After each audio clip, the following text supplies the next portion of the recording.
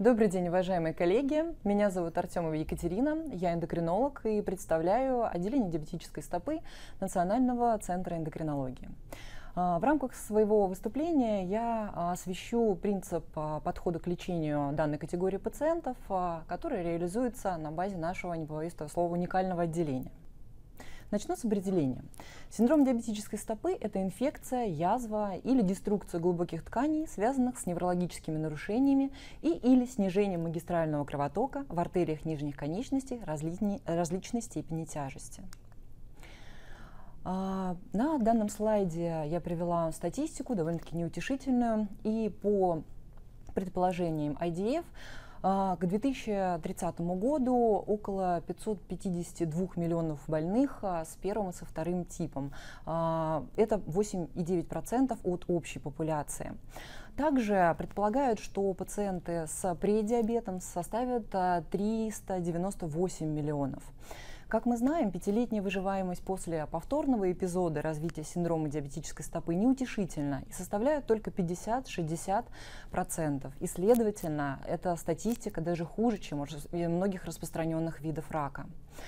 А одна, двух и пятилетняя выживаемость у пациентов составляют 81, 69 и 29% соответственно. А смертность при наличии синдрома диабетической стопы выше, чем при любом другом макрососудистом осложнении. Речь идет о инсультах и инфарктах. Итак, хронические раны и их исходы у больных с сахарным диабетом. Хронические раневые дефекты нижних конечностей развиваются у 25% больных с сахарным диабетом, что является причиной более чем 20% всех случаев госпитализации у этой категории пациентов. 12% госпитализированных нуждаются в ампутации на уровне голени. В течение 5 лет 50% из ранее оперированных нуждаются в ампутации другой конечности. Это статистика э, с 2013 по 2018 год, статистика нашего отделения диабетической стопы. Всего было включено э, в исследование порядка 1907 пациентов. Соответственно, с 2007 по 2012 год мы видим такое распределение э, форм синдрома диабетической стопы, преобладала нейропатическая форма, и уже э, с 2013 по 2018 мы не видим немножечко другую картину, преобладает нейроишемическая форма. Возможно, это связано с более э, с активным внедрением в нашем центре эндоваскулярной сосудистой хирургии и перераспределение потоков этих пациентов в пользу нейроишемии. Если мы говорим а, о клинических формах синдрома диабетической стопы, выделяют нейропатическую, которая составляет а, по а, данным некоторых авторов до 55%, смешанная до 35% и из, изолированная ишемическая до 10%. А, как мы видим на данном слайде, нейропатическая рана представляет собой чаще всего округлую форму, локализуется в местах повышенного давления. А, нейроостеотропатия Шарко – это деструкция костей и суставов. Это может а, затрагивать различные отделы, передний, средний, задний или могут быть сочетания. А, повреждения. При изолированно ишемической форме а, пациенты будут жаловаться на выраженные боли и а, формируются незаживающие раны, как правило, локализация акральная. Соответственно, при смешанной нейроишемической форме пациенты могут не чувствовать выраженные болевой симптоматики, поскольку вовлекается в процесс повреждения также и периферическая нервная система. И зачастую пациенты не замечают, как развиваются гангренозные изменения и уже с такой а, клинической картиной они приходят к нам на прием. А, по локализации а, нейропатической формы это места наиболее а, выраженные, подвергающиеся давлению, то есть это зоны максимального пикового давления. Это, например, постампутационные деформации. Здесь мы видим пролапс головки второй плюсневой кости после ампутации первого пальца с резекцией плюсневой кости. Видим, как изменен, формируется так называемая сгибательная контрактура второго пальца и здесь при ношении некорректной обуви формируется раневой дефект. А, в данной клиническом примере мы видим раневой дефект вместе пролапса кубовидной кости при остеотропатии Шарко. А, в данной а, клинической форме мы наблюдаем стопу Шарко и формирование стопы качалки. Здесь также мы видим раневой дефект вместе пролоббирующие головки первой плюсневой кости. А, как я уже сообщила, а, форми- могут у пациентов формироваться сгибательные контрактуры, деформироваться свод и формируется пролапс как продольного, так и поперечного, и формируется сначала плоская стопа, затем стопа-качалка. Часто у пациентов с различными ортопедическими нарушениями, например, здесь мы видим вальгусное отклонение первого пальца и компенсаторные клювовидные деформации остальных пальцев, формируются раневые дефекты на контактных а, поверхностях.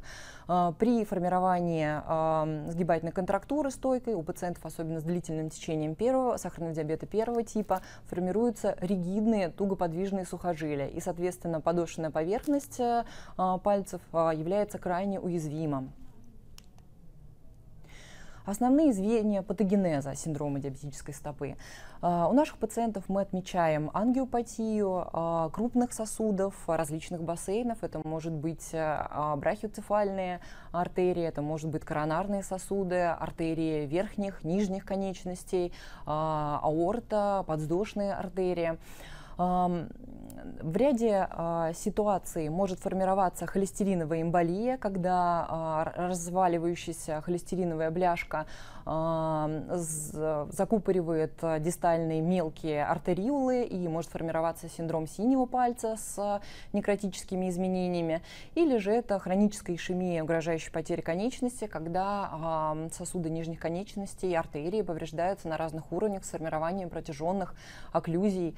При повреждении периферической нервной системы может а, формироваться патология ее автономного звена, то есть снижается а, потоотделение, формируется сухость кожи, формируются трещины, что является входными воротами для инфекции. И при повреждении также автономного звена нервной системы мы знаем, что у пациентов снижен местная иммунная система, и ответ на микробную инвазию также ухудшается. Это может приводить к формированию инфицированных ран. А, повреждение симпатической нервной системы приводит к увеличению а, скорости кровотока, к шунтированию э, кровотока, что также может влиять на ускорение резорбции кости, то есть преобладание процессов разрушения костей над остеосинтезом. И у наших пациентов можем отмечать формирование нейроостеротропатии по автору Шарко, и в местах повышенного давления формируются раны. Э, при отсутствии должного, должной разгрузки и лечения это может также приводить к формированию обширных гангрен и в итоге к ампутации. У пациентов снижается как э, сенсорное звено, э, то есть снижается чувствительность. Самое главное, что снижается болевая чувствительность, отсутствует тактильная, очень глубокий вид чувствительности. И наши пациенты, к сожалению, не замечают образование мелких, а порой даже крупных травм э, и уже обращаются на стадии повреждения э, массивных, э, массивного повреждения тканей.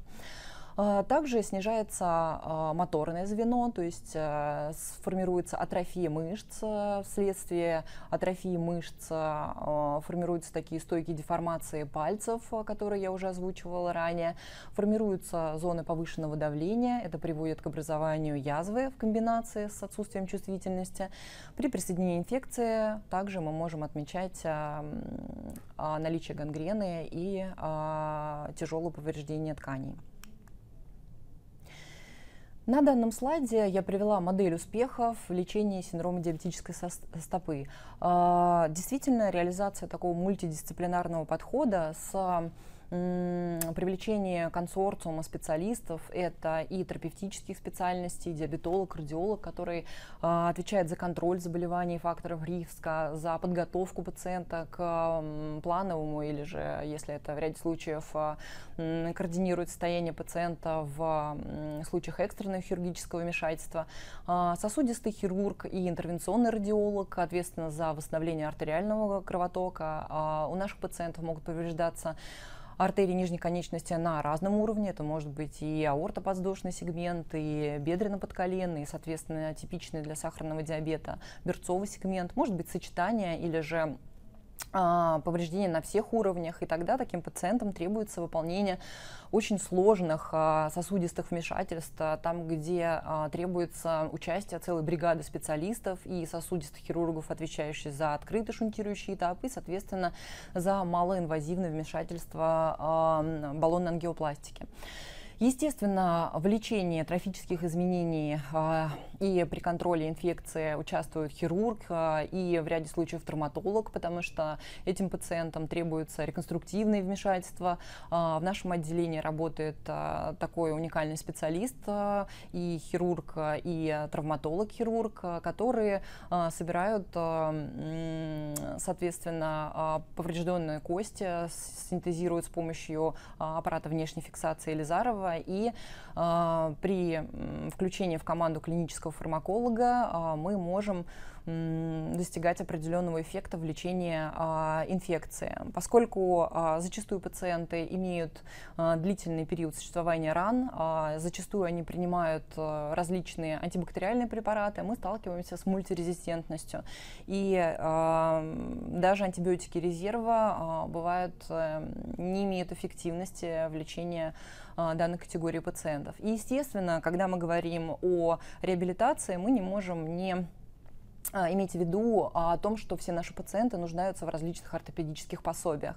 А, более того, контроль за износом и ортопедических пособий, таких как стельки, ортезы, обувь, осуществляет врач-ортопед. Естественно, этим пациентам нужно рассказывать, где приобретать, или же делать это, изготавливать индивидуально, контролировать э, так, как э, правильность э, использования этих ортопедических пособий. Соответственно, в такой компании Э, команде э, обязательно участие ортопеда, который занимается подбором лечебной профилактической обуви. Э, это приблизительная схема нашего отделения диабетической стопы. Наше отделение имеет мощность в 24 койки. А, в штате а, один травматолог-ортопед, а, два рентгеноэндоваскулярных хирурга, один хирург и восемь эндокринологов, а также один ортопед, который занимается подбором ортопедической обуви. А, в двух операционных а, мы оказываем различные виды вмешательств, то есть это хирургия стопы или различные ортопедические реконструкции, и в другой операционной осуществляются а, сосудистые вмешательства. Также мы осуществляем выезды на дом и активно принимаем в консультативно-диагностическом отделении.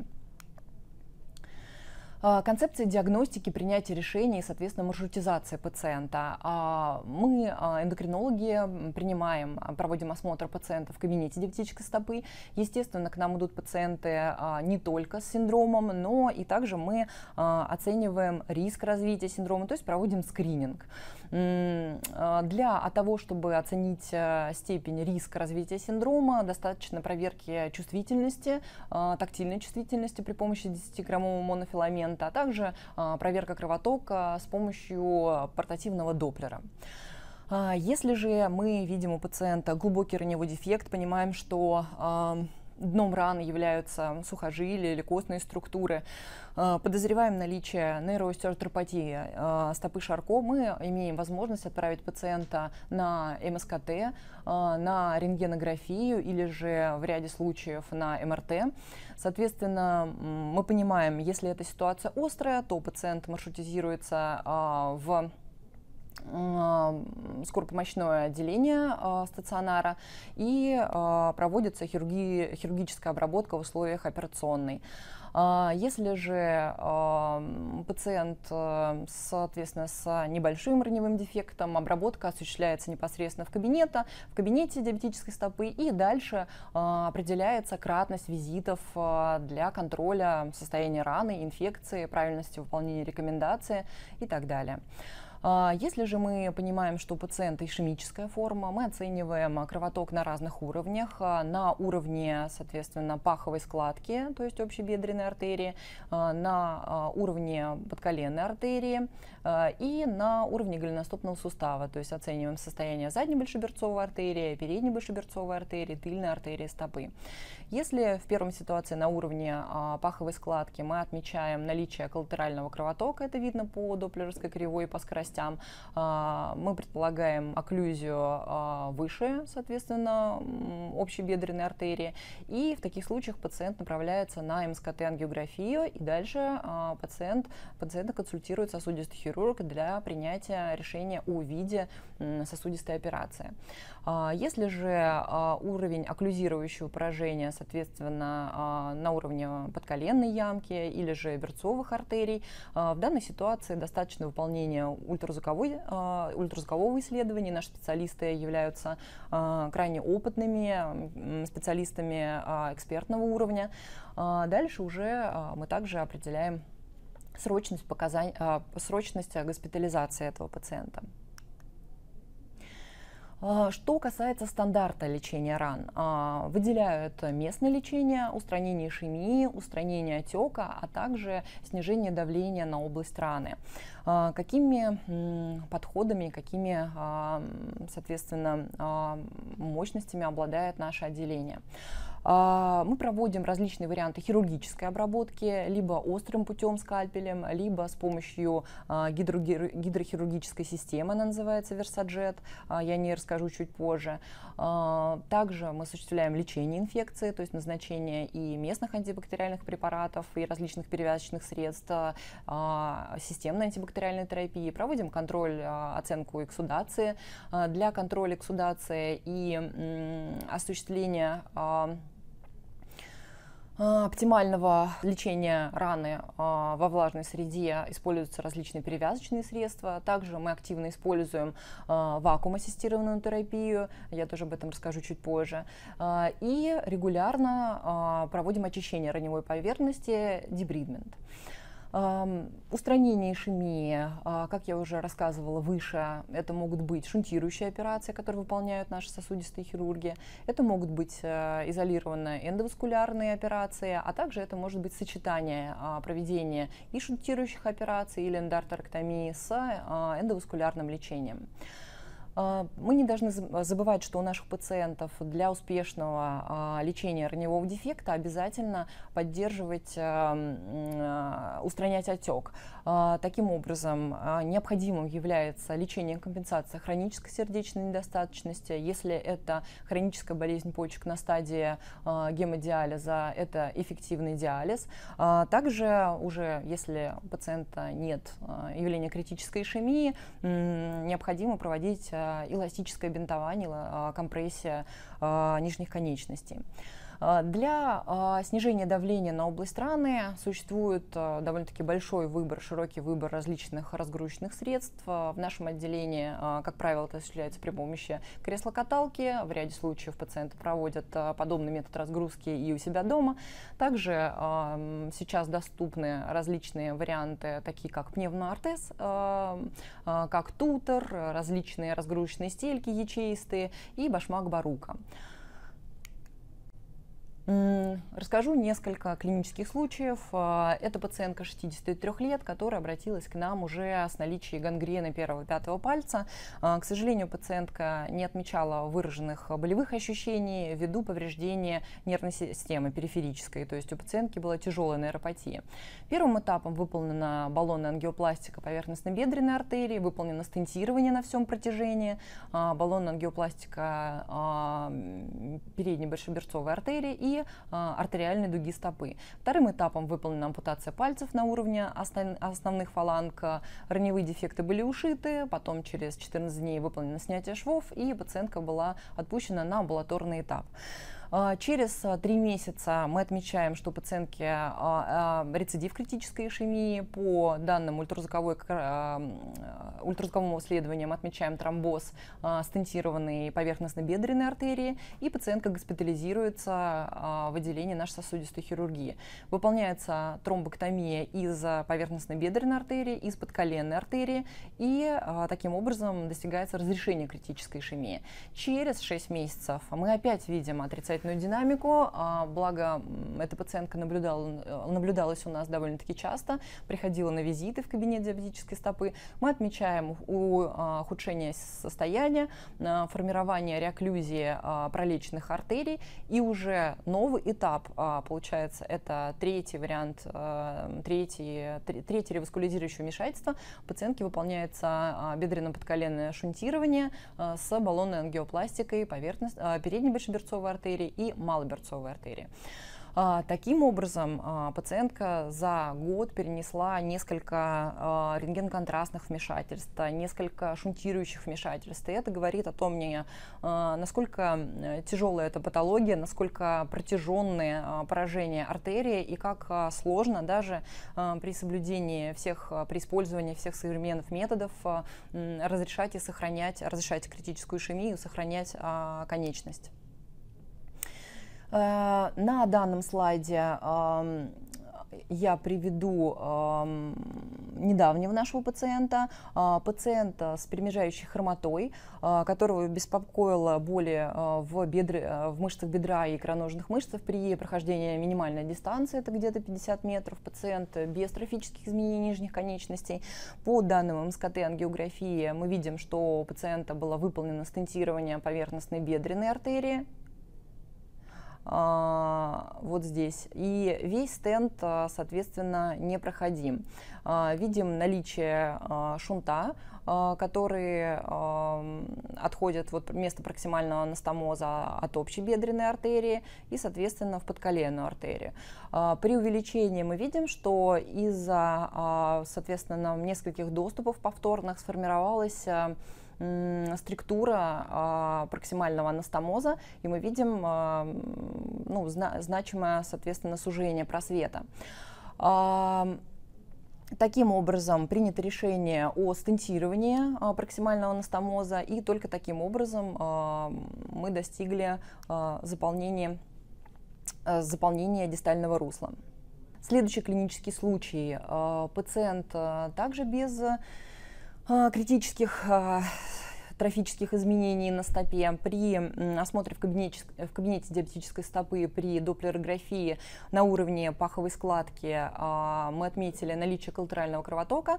Пациент был отправлен на МСКТ-ангиографию, и здесь мы видим подобную картинку, то есть окклюзия наружной подвздошной артерии, при этом у пациента заполняется а, глубокая бедренная артерия, что обеспечивает а, кровенаполнение а, дистальных фрагментов, получается, подколенной артерии и заднебольшеберцовой. Таким образом, пациенту выполнено гибридное вмешательство. Первым этапом это парадольная артериотомия на общебедренной артерии с переходом на глубокую бедренную артерию. И дальше а, выражаясь жаргоном, выполнена пункция, а, запустили эндоваскулярных хирургов и а, осуществили доступ к наружной подвздошной артерии и, соответственно, выполнена дилатация и имплантация стента в окклюзированный сосуд. Несколько слов о хирургическом лечении. Операции бывают экстренные, бывают плановые. При наличии массивного поражения ткани при наличии э, флегмона стопы. Мы понимаем, что пациенту нужно выполнять экстренное оперативное вмешательство. И если же мы имеем сухую гангрену, сухой струп, э, то такие пациенты могут уже оперироваться планово. Стратегия хирургических вмешательств при э, плановой ситуации. Первым этапом выполняется реваскуляризация, и уже вторым этапом э, отсроченно выполняется хирургическая обработка. Хирургическая обработка может включать сразу ампутацию и пластическую реконструкцию раны, либо же хирургическую обработку, и через какое-то время формируется э, закрытие раны э, местными тканями, или же рана заживает вторичным натяжением. А, это пример пациентов а, с а, сухими некротическими изменениями, которые не требуют экстренной хирургической обработки. Здесь мы видим гангрену первого пальца, гангренозные изменения ахиллова сухожилия и мягких тканей. И здесь мы видим сухую гангрену после операции, уже ампутации, резекции переднего отдела стопы. А, в, таком, в таких ситуациях а, пациент поступает к нам в стационар. Первым этапом выполняется баллонная ангиопластика. В конкретном случае мы видим, что восстанавливается просвет задней большеберцовой артерии а, по принципу, по ангиосомному принципу. Осуществляется, соответственно, пластика а, той артерии, которая питает а, вот этот участок. А, и дальше пациент а, и, э, попадает в руки уже а, хирургов а, и выполняется хирургическая обработка, а, в данном случае аппаратом Versajet, а, первый раз а, и, соответственно, второй. А, после того, как рана очистилась, когда а, дно раны представляет активная грануляционная ткань, а, раневой дефект можно закрыть, например, путем перемещенным расщепленным кожным лоскутом. Вот так вот выглядит рана через три месяца. лоскут полностью прижил, и пациент радуется жизни и сохраненной своей левой нижней конечности. А, данный клинический а, пример также иллюстрирует а, плановое вмешательство на стопе, то есть первым этапом также выполняется баллонная ангиопластика. Дальше иссякаются все некротизированные ткани, также при помощи системы Versajet гидрохирургической. А, следующим этапом выполняется довольно-таки сложная комбинированная пластика раны. Видим, что а, у пациента дефицит мягких тканей, а, соответственно, частично производится пластика и частично производится аутодермопластика расщепленным кожным лоскутом. Также через 6 месяцев рана полностью эпитализировалась, и пациенту изготовлена индивидуальная ортопедическая обувь, стельки, и до сих пор он наблюдается у нас вот с такой стопой. А, при, при таких ситуациях, когда мы видим влажную гангрену или же флегмону, первым этапом а, выполняется условно-радикальная хирургическая обработка, и только потом выполняется реваскуляризация. А, очень важно не затягивать момент между проведением условно-радикальной хирургической обработкой и сосудистой операцией, потому что за это время часто очень быстро прогрессирует ишемия и некротизируются ткани. Также можно реализовать подход, э, вначале выполняется хирургическая обработка, после реваскуляризации уже повторная, и дальше через какое-то время, как правило, там месяц или даже несколько месяцев выполняется пластическая реконструкция. Также это можно сделать одномоментно или же э, рано заживает вторичным натяжением. На базе нашего отделения реализуются все три подхода в зависимости от различных моментов, от э, удаленности э, пациента от нашего центра, потому что, естественно, мы принимаем пациентов из различных регионов и субъектов нашей страны. Хирургическая стратегия при лечении хронических раневых дефектов. Как бы мы не обучали наших пациентов, а, этим, а, этой категории больных а, требуются регулярные хирургические обработки даже в условиях перевязочного кабинета. Для чего это необходимо? У пациентов с сахарным диабетом раны застывают в определенной хронической стадии и не переходят в другие стадии раневого процесса и не реализуется смена вот этих вот фаз, которые приводят к успешной эпитализации.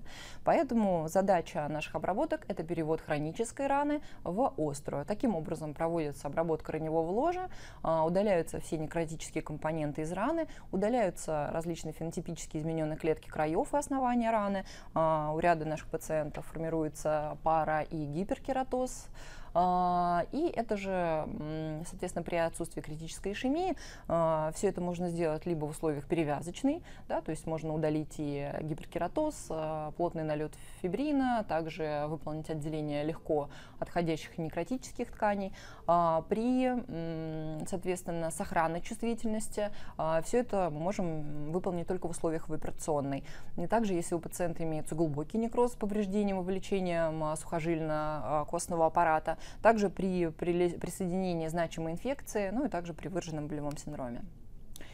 А, схематическая характеристика нейропатической раны. Действительно, мы отмечаем а, наличие гиперкератоза, то есть активно пролиферирующих клеток, которые, а, к сожалению, не мигрируют в раневое ложе, и это не приводит к эпителизации, раневой дефект сохраняется, но мы видим вот эти вот массивные наложения гиперкератоза, который периодически действительно нужно удалять, чтобы стимулировать изменение фенотипа клеток на миграционный.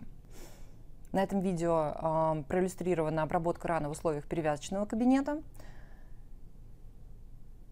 Э, мы видим, что дно раны представлено наложением фибрина плотный, э, который, ну, там создается определенная кислая среда, это тоже влияет на э, миграционный потенциал клеток. Проводится обработка раны растворами антисептиков, а в данном случае это мирмистин или беспиртовой хлоргексидин. На самом деле растворов антисептиков великое множество.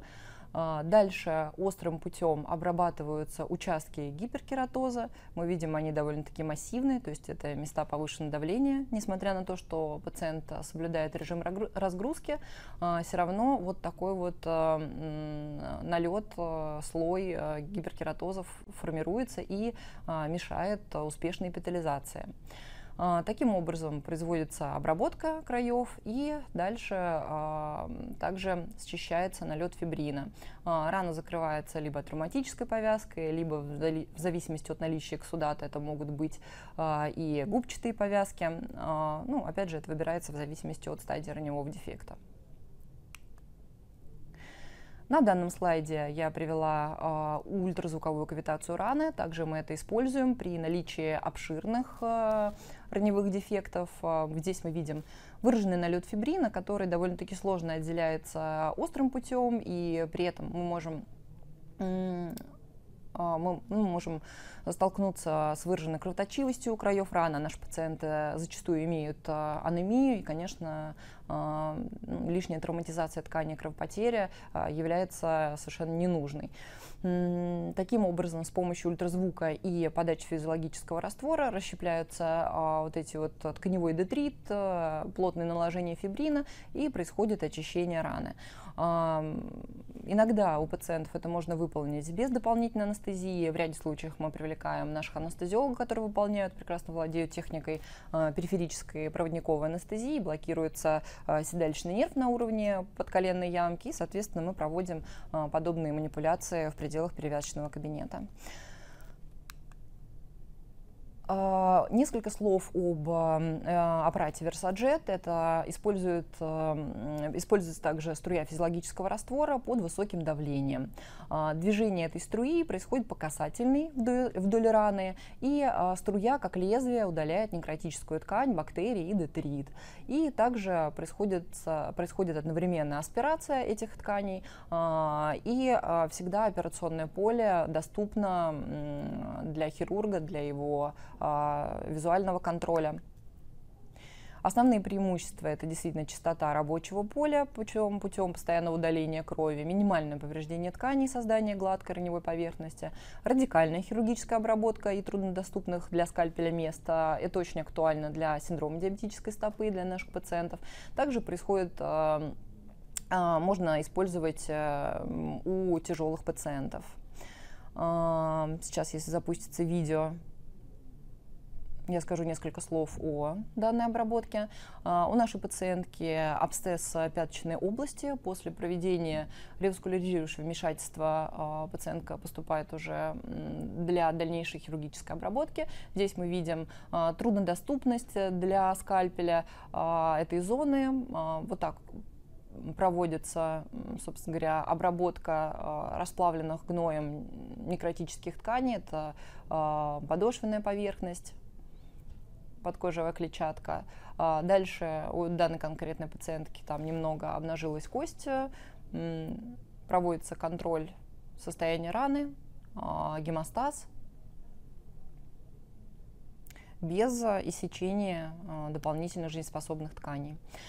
И для а, создания оптимальной среды а, безвоздушной это позволяет контролировать состояние и ну, бороться с инфекцией, поскольку а, создается безвоздушная среда и аэробные бактерии гибнут.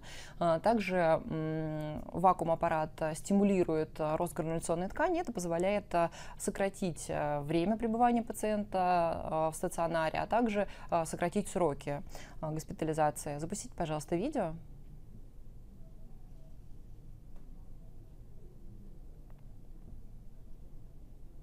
Существует много компаний, которые производят вакуумные аппараты. На самом деле особенных отличий принципиальных у них нет. Реализуется создание отрицательного давления различной величины. Есть аппараты, которые создают э, инстилляцию антисептиков, то есть э, одновременно и вакуум-эффект, и, соответственно, обработка э, антисептическими растворами. На дно раны устанавливается э, специальная губка, которая имеет определенную величину пор. Э, края раны мы обрабатываем специальной пастой с цинком, чтобы избегать мацерации. Э, рана герметично заклеивается и восстанавливается величина отрицательного давления а, в зависимости от а, наличия болевых ощущений у пациента. То есть от 50-60 а, до 110-120 мм ртутного столба. Вот такая губка, которая вырезается по размеру раневого дефекта и непосредственно погружается в рану.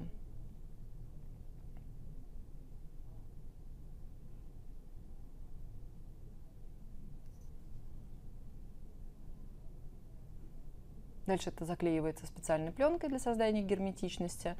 И э, пациента не требуется перевязывать. Длительность вакуум-терапии одного сеанса может быть э, до 3-5 дней, в зависимости также от состояния раны. И это действительно, повторюсь, значимо стимулирует рост грануляционной ткани, позволяет сократить глубину раневого дефекта, его объем.